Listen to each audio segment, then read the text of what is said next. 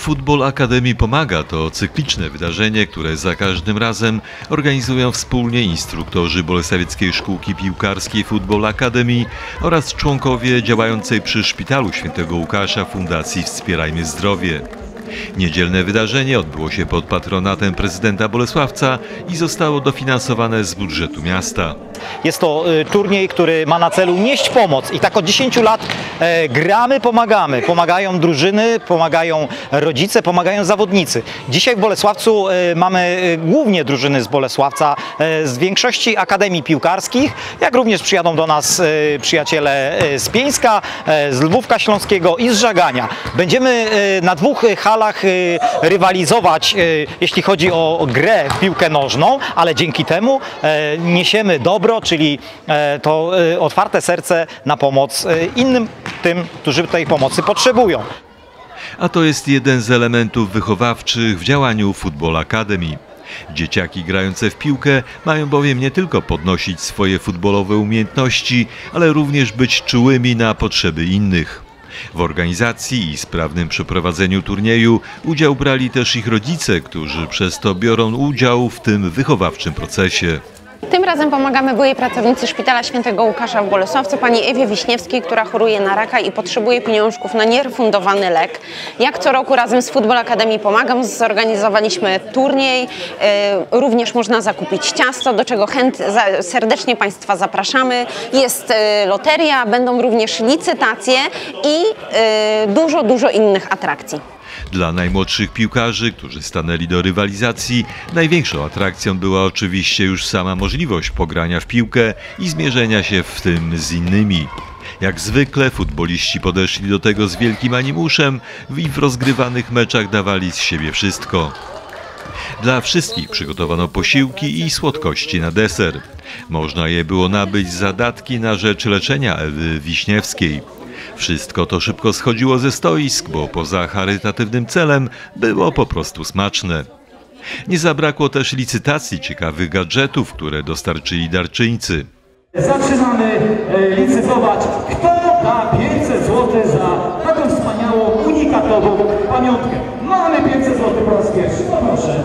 Być może ten pan wygra, jeśli nikt nie stawi temu czoła. Jeśli nie dorzuci do tych 500 zł chociażby 50. Na tym się jednak nie skończyło. Były następne postąpienia, a ostateczna kwota to Czyli mamy kwotę 800 zł po raz pierwszy. 800 zł po raz drugi. Tutaj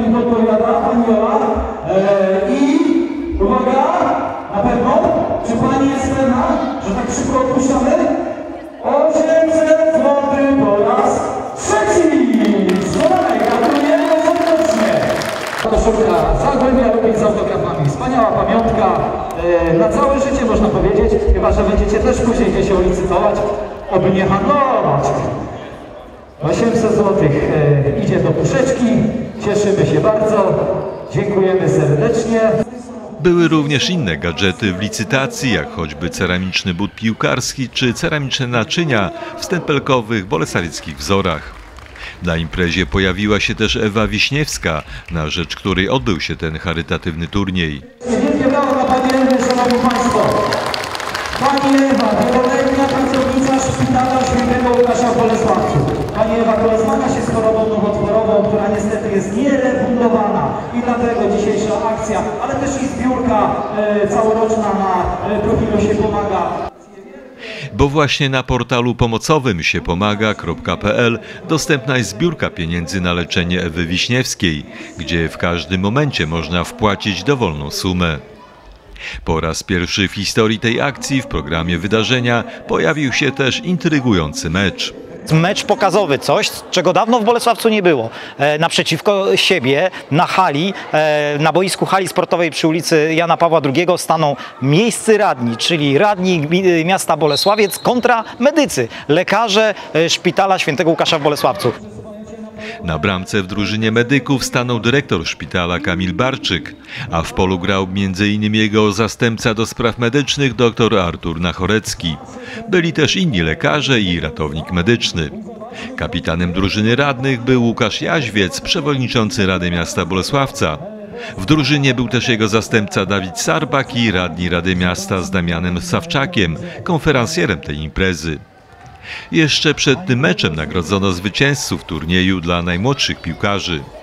Młodym futbolistom medale wręczali zawodnicy drużyn radnych i medyków. Pierwszy gol w meczu dnia padł do bramki medyków i Kamil Barczyk był bezsilny po strzale Rafała Więcewicza. Potem padały kolejne gole, ale większość z nich do tej jednej bramki. Ale to nie przeszkodziło zawodnikom obu drużyn bawić się udziałem w tym meczu. Być może wpłynie to na podjęcie treningów w takich zespołowych konfiguracjach, by następnym razem obie drużyny mogły być zadowolone z wyniku punktowego.